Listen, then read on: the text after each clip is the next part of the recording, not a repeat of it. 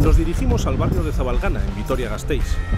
Hace unos años, esta era una zona de campo y bosque donde corzos, jabalíes y conejos campaban a sus anchas.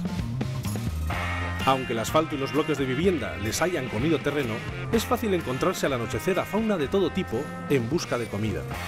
Y el otro corriendo, es normal. Buah, el taxista. Ahí el taxista.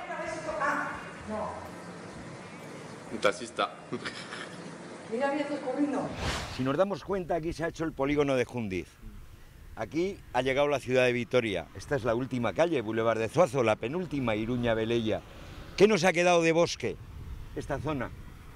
Aquí es su refugio. Aquí pueden quedar. Ellos no se van a manifestar. Ahora que estamos hablando, seguramente que hay varios jabalíes. Luego a la noche, por la antigua Nacional 1, pueden pasar arriba, a los montes de Vitoria, porque ellos andan esos kilómetros, lo mismo que las liebres. Pero cuando veamos un animal, no nos asustemos, ni de un perro tampoco. No. Si un perro se nos tira, del que no nos tenemos que fiar es del dueño. Los peores depredadores somos los de dos patas. Los jabalíes nos pueden joder algún sembrado y tal.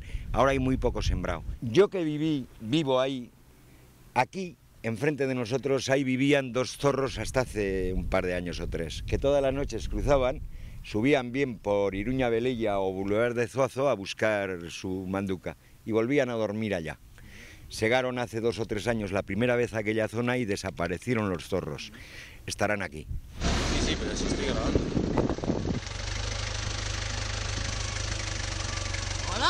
El jabalí, al vivir aquí, pues se hace manso, sale entre la gente y no se asusta.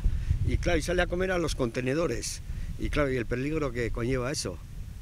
Que, que le pueda pillar un coche y lo que puede pasar, claro. Ahí en esa rotonda, ahí, ahí, ahí pilló a uno.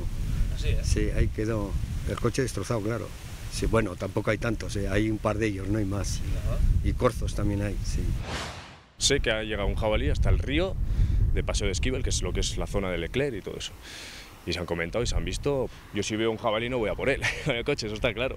Intento esquivarle o si no puedo, pues parar en medio.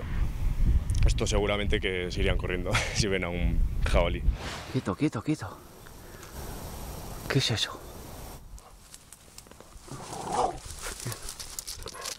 Quieto. Hijo puta.